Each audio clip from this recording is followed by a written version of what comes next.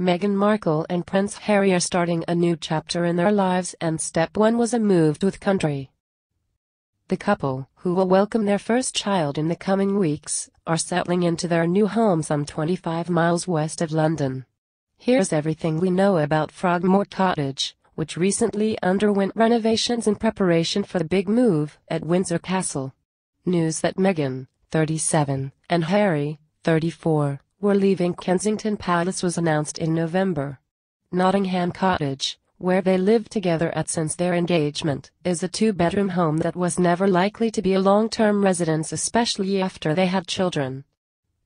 Windsor is a very special place for their Royal Highnesses and they are grateful that their official residence will be on the estate, a statement from the couple's office said. After all, they tied the knot at St. George's Chapel in Windsor Castle last May, and it's where their engagement photos were taken. They'll enjoy it much more in Windsor, a family friend recently told People.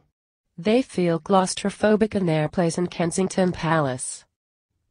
Moving to Windsor is a really healthy thing to do, adds a longtime friend, noting that the rigid constraints of Kensington Palace are not for all.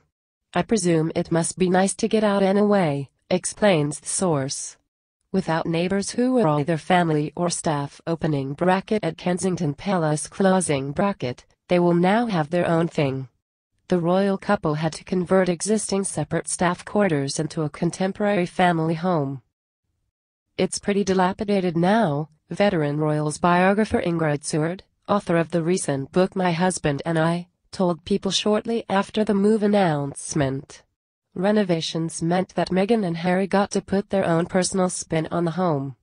Complete with a new green energy center, springy floating floor, perfect for yoga, and non-toxic paint, the cottage marries English and California style.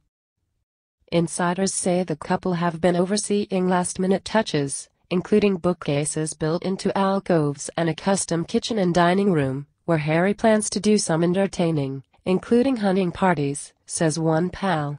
With its lush gardens, green fields and serene lake, the grounds of Windsor offer endless acres to roam with the couple's two dogs and new baby. It has the most amazing mulberry walk, where we would pick mulberries for Prince Philip's mulberry gin, says a former palace staffer.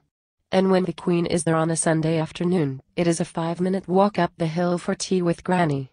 It is gorgeous.